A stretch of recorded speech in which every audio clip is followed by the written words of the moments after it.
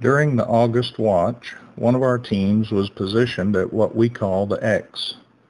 Although the moon was out, the shadow cast by a mott located on the northeast side provided excellent concealment for our team. One member carried night vision and one carried a FLIR thermal device with a range of a thousand yards. Around 10 p.m., the member with the night vision thought he saw something cross in the far distance south of their position. He reported that movement to the other member to get verification of what he had seen.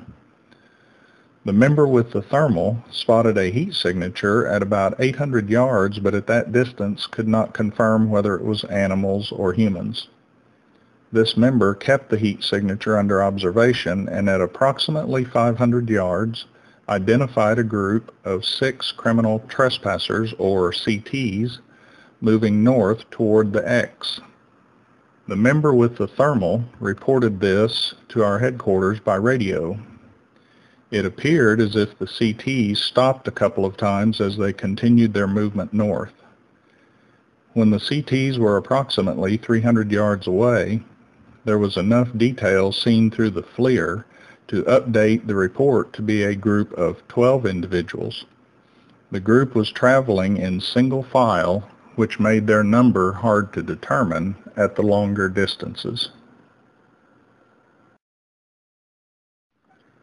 About 75 yards away and just south of the intersection, the group once again stopped, being directed off the path by their coyote. An accurate count of the group as they left the right-of-way revealed there were 13 in the group. The group sat down and apples were distributed while the coyote scouted the intersection. By this time, our team members had positioned themselves in the shadow of the motte just north of the X. Our team was completely invisible to this group. After a break, the group was directed back onto their route and continued north through the intersection.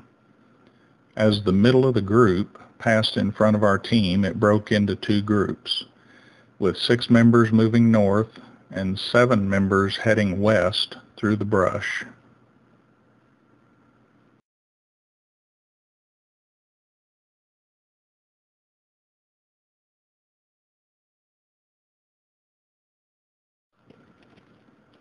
When Border Patrol agents arrived, their canines started to locate the CTs. As more BP units arrived and searched the grassy field to the west, four more CTs were taken into custody by Border Patrol. The CTs were processed and loaded into a vehicle for transport. BP expanded their search to include areas to the north, and by morning, 12 of the 13 CTs in the group had been apprehended by Border Patrol, including at least four El Salvadorians.